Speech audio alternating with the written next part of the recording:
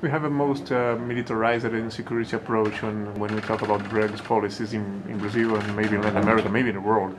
I would like to know your point of view regarding this, this talk. How should we address this? Well, you know, I have done a report on that.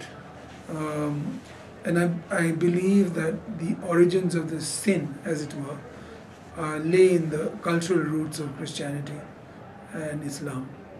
Because drug taking of particular types, alcohol, you can drink as much as you want, you can kill by accidents, direct connection between taking alcohol and killing people on the road.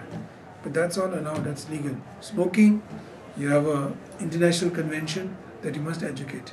But if you take a narcotic drug or a psychotropic substance, as we call it, uh, it may be coca which you chew in Bolivia, or it may be cannabis, which is traditionally taken on a particular day to celebrate the Lord, the, the great Lord Shiva. You know, there's the day called Mahashivratri in India, where all believers they actually drink bhang, which has got cannabis in it, including my father-in-law who recently died. And I spoke about this in the UN General Assembly. And I said, you know, my father-in-law, I asked him, why do you take bhang, which is cannabis-based? He said, you know, I like this particular Indian sweets called Rasgullas. And he loved them, loved them. He is no longer with us. And he said, I like to, normally I can only eat two. If I eat four, I get indigestion. But if I take bhang, I can take 20 and I have no problems at all. Now, that is not allowed because those people who came from the West said, this is not a good idea. And they initially traded on it. So the British traded in opium, sent opium to China. Three wars were fought to, to allow for accumulation of capital. Some of the Indian big wigs, including capitalists, traded in that and made money and accumulated capital. But today it's criminalized. First of all, it's a cultural outlook. Secondly, criminalization doesn't deter people from taking drugs. You know, recreational drugs are increasing.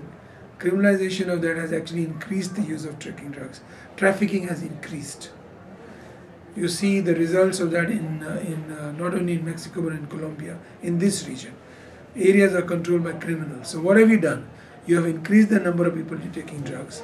They don't have an idea about how to treat overdose because you don't have information available publicly. They don't realize the difference between taking a glass of wine and drinking a whole bottle every day. It's the same. You can take a bit of cannabis and take it for the whole of your life without any deleterious consequences as you take alcohol. So they don't know the difference. Dependence and taking it casually as it were. So they cannot treat dependence, which is a medical condition, and instead they are being criminalized and they are put behind bars. It's not working. The strategy of war against the drugs initiated by the United States, unfortunately, is completely failed, and I've said that. Now, what is the way out? The way out is shown by Portugal as an example. They have decriminalized possession. And has crime gone up? No.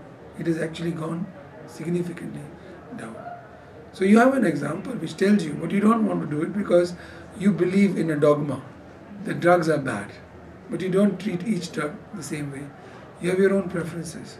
So the whole thing is plainly stupid, but it has very bad consequences in terms of lives being taken of people. I think it is necessary to stop it.